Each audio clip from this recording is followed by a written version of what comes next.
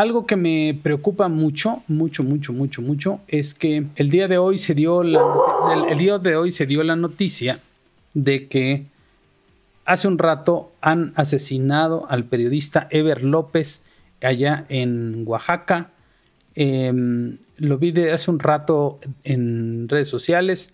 Esta es la nota de El Universal y dice que la noche de este jueves fue asesinado Ever López, reportero en el puerto de Salina Cruz, en la región del Istmo de Tehuantepec. Ever era director de la página de noticias, noticias web y su asesinato ocurre solo unos días después del ataque armado en contra de José Ignacio Santiago Martínez, director de Pluma Digital Noticias, quien resultó ileso. También sucede a pocos días del asesinato del fotoreportero Margarito Martínez. De acuerdo con los primeros informes, Ever López fue asesinado dentro de su estudio de grabación. El hecho ocurre en medio de una ola de violencia en el istmo de Tehuantepec que ha dejado al menos tres asesinatos múltiples en Juchitán, diez víctimas mortales, por lo cual el gobierno de Oaxaca instaló una mesa de seguridad en la región. Dice la Fiscalía de Oaxaca que hay dos detenidos por el asesinato del periodista en el puerto de Salina Cruz la detención de dos hombres que por su probable participación en, el asesinato del periodista, según información preliminar, el asesinato del comunicador fue un ataque directo y ocurrió al interior de su estudio. Esta es la sexta semana del año y van seis periodistas muertos.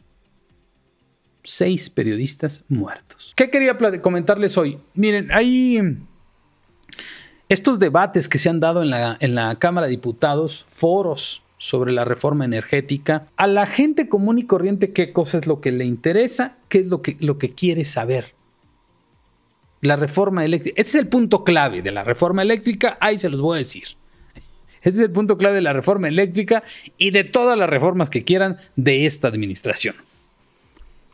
El presidente dice que para bajar los costos de la electricidad y para generar, recuperar la, la soberanía energética del país, hay que mandar a la chingada a todos los extranjeros, porque los extranjeros son como la mismísima encarnación de Satanás. Bueno,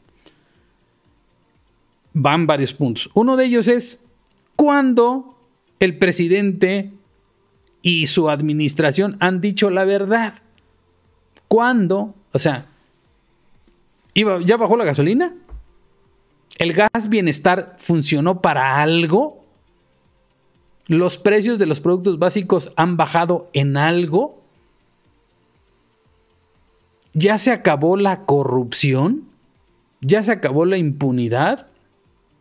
¿Ya están en la cárcel los delincuentes? Todo lo que ha dicho sistemáticamente esta administración ha sido básicamente mentiras. Y lo vuelve a repetir. Hace rato este, subí, publiqué un video en tanto en las redes como en el programa del mediodía, en donde el presidente promete, por ejemplo, que en diciembre de este año vamos a tener servicios de salud de primera. Y puse el video en donde dice en 2020, en, en enero de 2020, 16 de enero de 2020, dice esa famosa frase que se volvió clásica es vamos a tener servicios de salud. El primero de diciembre de 2020 vamos a tener servicios de salud como los de Dinamarca. Ya tienen servicios de salud como... No, ¿y saben qué? No los vamos a tener. No domamos la pandemia. No ha pasado nada. Todo, sistemáticamente, todo lo que ha dicho ha sido mentira. Todo lo que ha dicho ha sido mentira. ¿Por qué hablar de la reforma eléctrica en términos de que va a ser para el beneficio del pueblo de México, habría de ser verdad. Pues no, no va a ser verdad. ¿Por qué? Pues porque nunca, nunca han dicho la verdad. Segundo punto, los gobiernos siempre han sido malos administradores de las empresas. porque hay excesiva corrupción? Pemex ha sido la caja chica del gobierno en turno han, o sea, clientes, clientes, clientazos de las cárceles y de los juzgados han sido los directores de Pemex y los funcionarios de Pemex. Porque ahí fluye la lana, la empresa está en la quiebra, pero fluye la lana para los bolsillos del que esté en turno. Ahora con la, con la mm, Comisión Federal de Electricidad, pues ha perdido alrededor de 80 mil millones de pesos por año. ¿De dónde va a sacar dinero la Comisión Federal de Electricidad para invertir mayoritariamente si desplaza a, los particulares, que esa es su intención, reasumir la rectoría del control energético del país porque hoy no tiene, según ellos, el control energético del país. Miren, a lo que, lo que interesa a la gente es cuánto le va a costar la luz. Eso es lo que le preocupa a la gente. Lo que le preocupa a la gente no es quién se la, quién se la provea. Eh, les gusta que la luz se les vaya al doble, pero mantenemos la soberanía energética. ¿Qué es soberanía? O sea, ¿cómo podemos pensar en soberanía eh, en estos términos de globalización? la soberanía no está depositada ni en, el, ni en un combustible fósil, ni en la electricidad. Eso tiene que ver con otra cosa. Imagínense los países que no tienen petróleo, ¿no tienen soberanía? Los países que no tienen la capacidad de generar su propia electricidad, ¿no tienen soberanía? ¿Por qué indexar la soberanía de, por qué amarrar la soberanía de un país a una ideología específica? Desde que Lázaro Cárdenas inventó la idea de que nuestra soberanía nacional dependía del petróleo, pues hemos, le hemos este, encendido veladoras al general Cárdenas, que algún mérito habrá tenido, pero ya en estos tiempos, pensar en que importamos la mayor cantidad de gasolina, pues porque no tenemos tampoco crudo para refinar crudo ligero, para refinar y para que se convierta en gasolina. Entonces es una falacia también que la refinería de ni la de Deer Park, porque vamos a estar pagando, este, ni es mexicana, em, está en otro, eh, paga impuestos en otro lado, ni la refinería de Dos Bocas nos va a sacar de ningún hoyo. Vamos a seguir importando gasolina. Y esa falacia de le vamos a dejar petróleo a las futuras generaciones. ¿Para qué chingados quieren petróleo a las futuras generaciones? Les vamos a dejar carbón para que le echen leña, pues, para que le echen fuego a, sus, este, a sus estufas. ¿Y para qué queremos? ¿Para qué quiere un joven que le hereden petróleo? Pues, si en 10 eh, años, al menos la mitad de los vehículos que van a circular en América del Norte son eléctricos.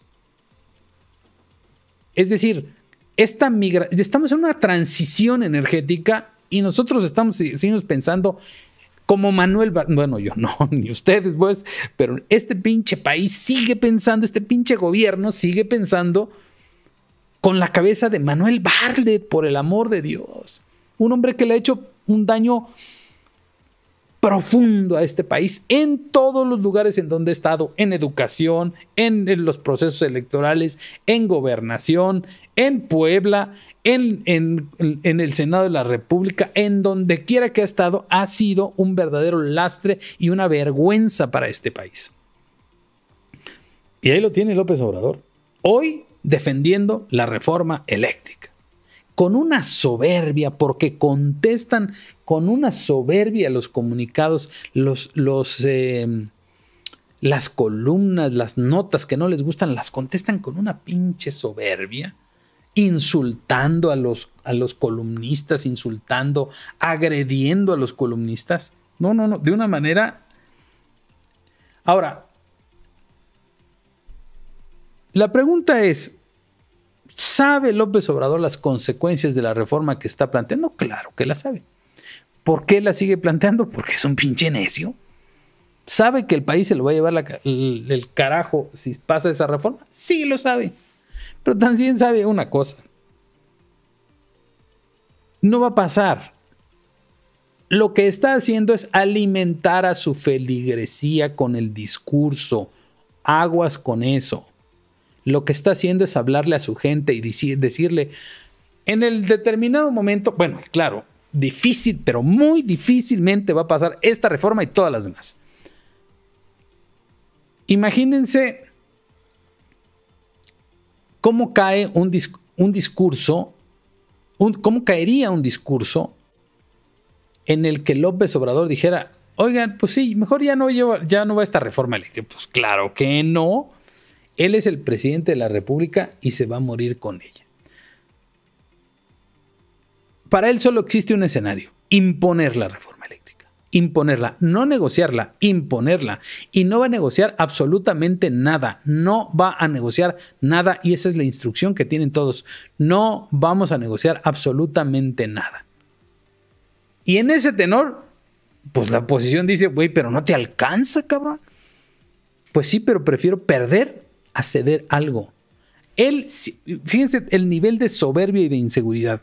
Alguien que no es capaz de ceder para llegar a un acuerdo es una persona débil e insegura. Y por consecuencia, autoritaria a más no poder. Argumentan también eh, que hay otras formas. Es lo que les ha venido a decir también el gobierno de los Estados Unidos.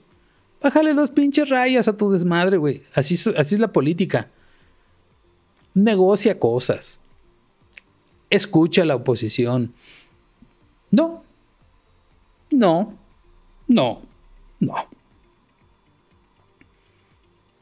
Y hay que tener en cuenta que en otros países en los que este tipo de reformas se han llevado a cabo, en el que el control de la energía está en manos del gobierno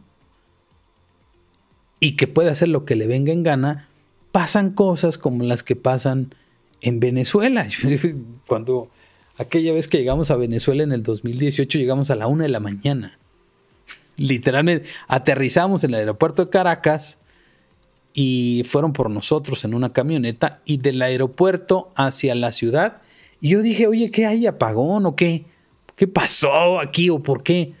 No, me dice así siempre. Así es la, así es la, así está siempre la ciudad.